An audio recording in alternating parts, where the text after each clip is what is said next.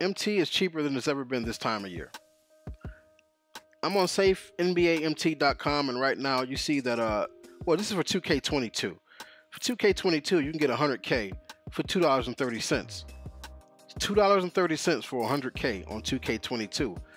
So why would it be less expensive? Now I switch to 2K23, and actually the price goes down to two dollars and four cents. It's cheaper on the newer game.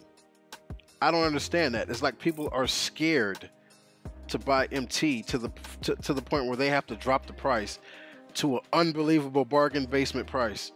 Uh, I'm doing the calculations here, so that means that uh, twenty dollars and forty cents should get me a million, right? There, let's go. Twenty dollars and forty cents gets you a million. A million.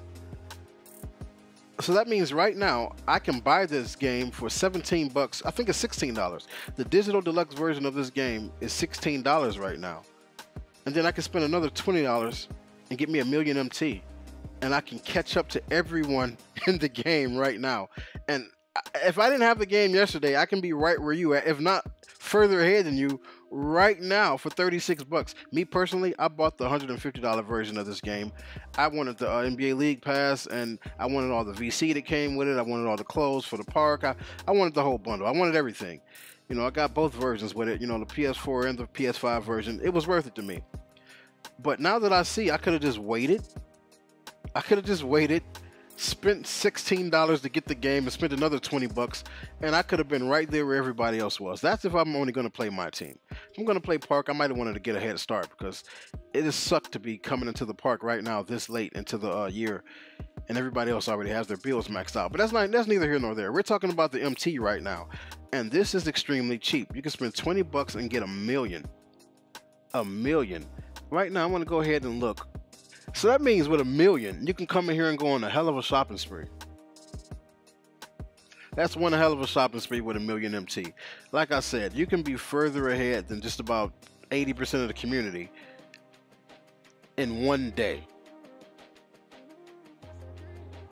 I'm estimating about 80% of the community. If you were to purchase the game for $16 and then spend another 20 on a million MT for 36 bucks total, you are leapfrogging a lot of people.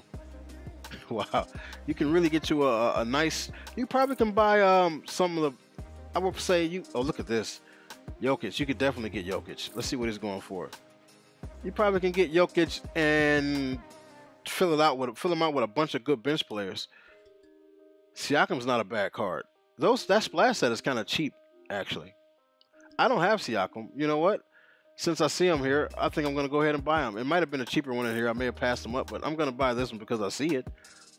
I think he's worth 17k, and I think he's going to be a good addition to my squad. So I'm gonna go ahead and throw him on there. And guys, think I mean, just think about that, man. 20 bucks for a meal MT. Is it worth the ban?